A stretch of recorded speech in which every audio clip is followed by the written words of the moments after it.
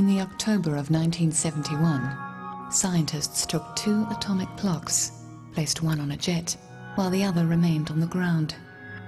They wanted to prove the theory of special relativity, which said that at acceleration, time slows down. A clock at speed should run slower than a clock at rest. That at the speed of light, perhaps time might stop entirely.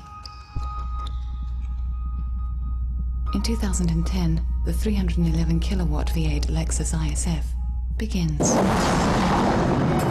We like to think it gives you a moment more to encounter the pursuit of perfection.